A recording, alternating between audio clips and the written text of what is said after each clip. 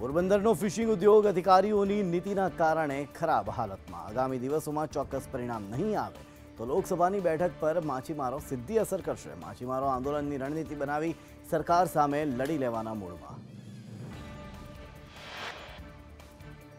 સિંગતેલના ભાવમાં વધારો યથાવત ત્રણ દિવસમાં સો રૂપિયાનો વધારો સિંગતેલના ડબ્બાનો ભાવ બે હજાર આઠસો સાહીઠથી બે હજાર નવસો દસ રૂપિયા થયો લગ્નની સિઝનના કારણે ભાવ વધારો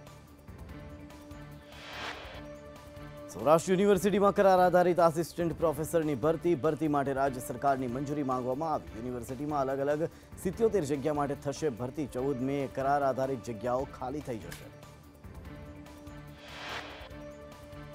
ભાવનગર ડમી ઉમેદવાર કાંડમાં પોલીસે કરી છત્રીસ શખ્સોની ધરપકડ બે દિવસ પહેલા ઝડપાયેલા પોલીસ કોન્સ્ટેબલ દિનેશ પંડ્યા અને તેના ભાઈ ભદ્રેશ પંડ્યાના એક દિવસના રિમાન્ડ પૂરા કરવામાં આવ્યા જેલ હવાલે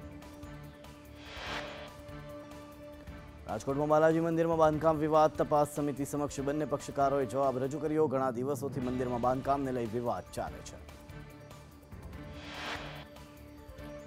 રાજકોટમાં બાલાજી મંદિરમાં બાંધકામ વિવાદ મુદ્દે સમિતિની તપાસ અંતિમ તબક્કામાં પહોંચી. કરણસિંહજી સ્કૂલમાં ગેરકાયદે બાંધકામ ઊભું કરાયું. તપાસ સમિતિ અને કલેક્ટરનો કોર્ટમાં જવાબ રજૂ. કોંગ્રેસ નેતા અમિત ચાવડાના સરકાર પર પ્રહાર, કહ્યું સરકારની માનસિકતા ઓબીસી વિરોધી વારંવાર રિપોર્ટ બાબતે મુદતો વધારવામાં આવી, ઓબીસીના નામે મત માંગવામાં આવે છે, પણ નિર્ણય નથી કરવામાં આવતો. કોંગ્રેસ અને અમિત,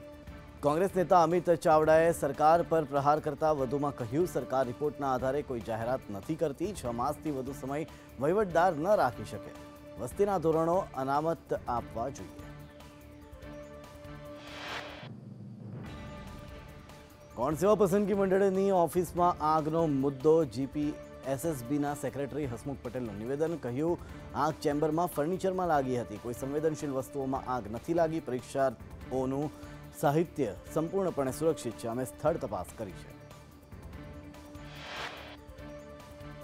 ચેમ્બરમાં આગ લાગવાના બનાવને લઈને હસમુખ પટેલે કહ્યું માત્ર ફાઇલ ફર્નિચર જેવી વસ્તુઓનો નાશ થયો ઉત્તર વહીઓ સ્ટ્રોંગ રૂમમાં સંપૂર્ણ સલામત હતી નિર્ધારિત સમયે જ પરિણામ આપવામાં આવશે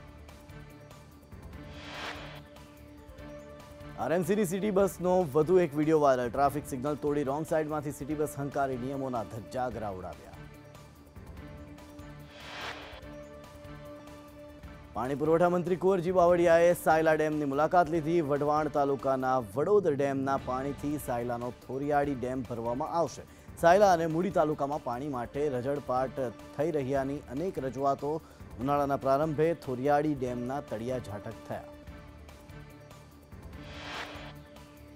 ભાવનગરની એમકેબી યુનિવર્સિટીમાં પેપર લીકનો કેસ ઘટનાને આડત્રીસ દિવસ કરતાં વધુ સમય વીતી ગયો હોવા છતાં પેપર લીક કરનાર સૃષ્ટિ બોરડા હજુ પણ પોલીસ પકડથી દૂર સૃષ્ટિ બોરડાએ ફરી મૂકેલા આગોતરા જામીન નામંજૂર વીસ દિવસ પહેલા આગોતરા જામીન નામંજૂર થયા હતા રાજકોટમાં આરોગ્ય વિભાગની કાર્યવાહી ત્રણ ડેરીમાંથી શંકાસ્પદ પનીર સહિત અન્ય ખાદ્ય વસ્તુઓના નમૂના લેવાયા મીઠાઈ સહિતનો નાશ કરાયો લાયસન્સ મુદ્દે ધંધાર્થીઓને નોટિસ ફટકારવામાં આવી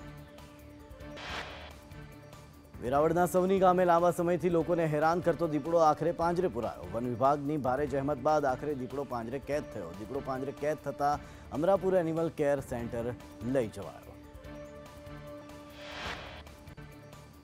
સુરેન્દ્રનગરના રતનપર વિસ્તારમાં આવેલા દેવનંદન રેસિડેન્સીમાં વધુ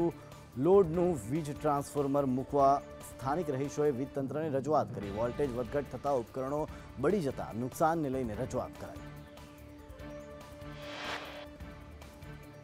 લખતરના